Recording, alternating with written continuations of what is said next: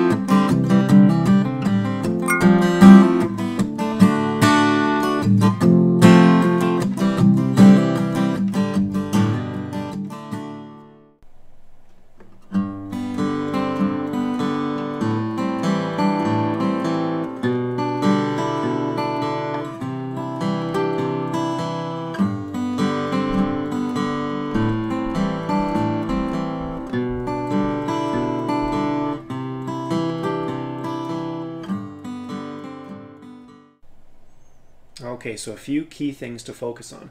First off is in this tab example, my ring finger is in the base of the G, and I'm using my ring finger to mute the fifth string, to mute the A string.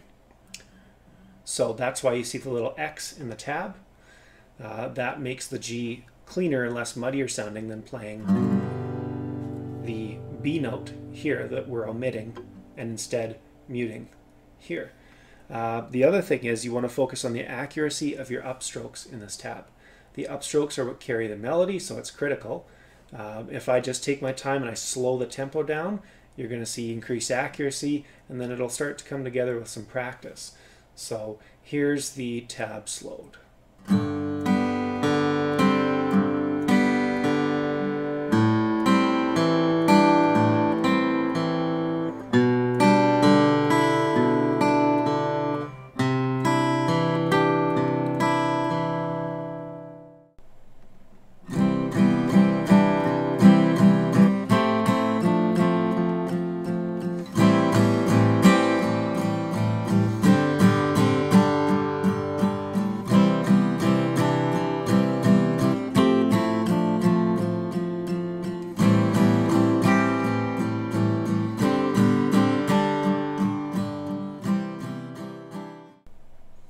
Alright guys, so in this example we're mixing it up. Instead of playing the bass notes on the downstroke and the melody notes in the upstroke as seen in Needle and the Damage Done, we are playing all consistent downstrokes and the melody is heard in each of the downstrokes you play.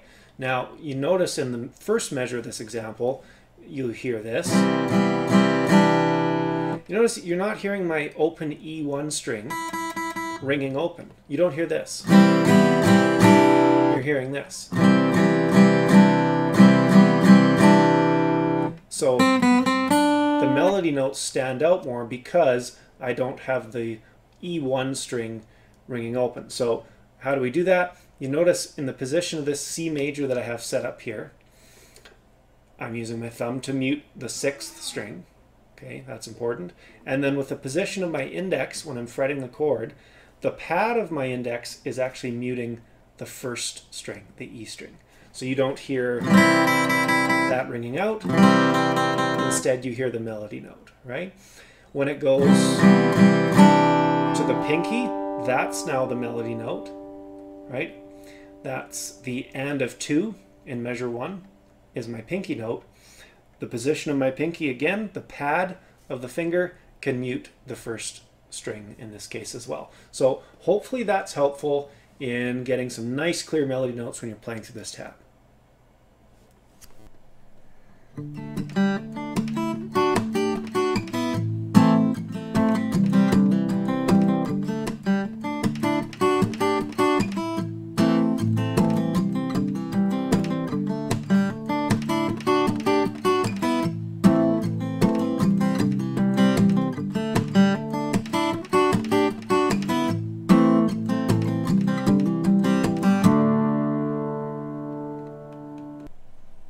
We've arrived at the third and final tab example.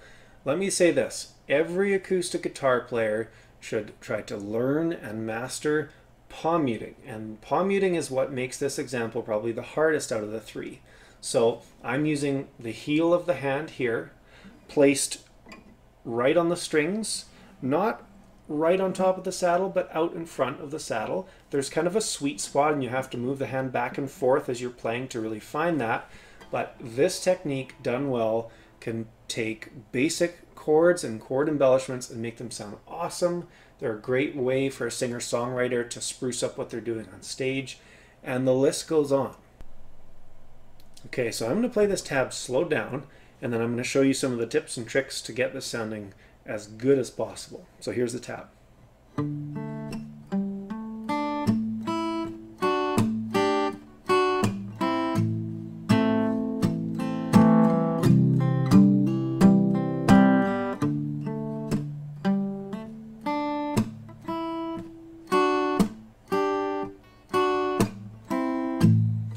So you notice the whole time I'm playing it, I'm rocking my hand.